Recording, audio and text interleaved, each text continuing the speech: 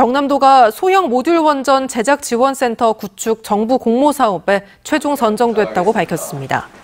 소형 모듈 원전 제작 지원센터는 소형 모듈 원전 주기기 제작의 핵심 기술인 로봇 용접 기술을 활용해 반도체의 삼성전자와 하이닉스 같은 파운드리를 집적화하는 경남도의 핵심 사업입니다. 이에 탈핵 경남 시민 행동은 소형 모듈 원전도 규모만 작을 뿐 핵연료를 분열해 전기를 생산하는 핵발전소에 이어 아직 세계 어느 국가에서도 실증을 완료하고 상용화하지 못했다고 밝혔습니다.